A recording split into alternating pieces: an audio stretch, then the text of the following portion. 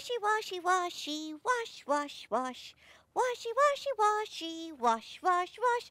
Wa- oh! Hello! Um, did I keep you waiting for long? You can go to the loo now.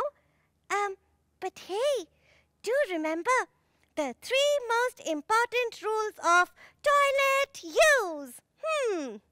First, always wear slippers to the toilet.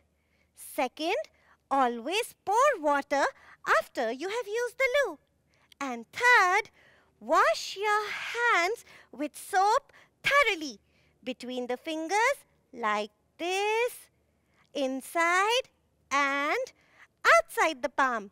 Our teacher tells us that if we follow these three rules of toilet use, then diseases like diarrhea can be prevented. Hmm. Now, my hands and wash the germs away. See you soon. washy, washy, washy, wash, wash, wash. Washy, washy, washy.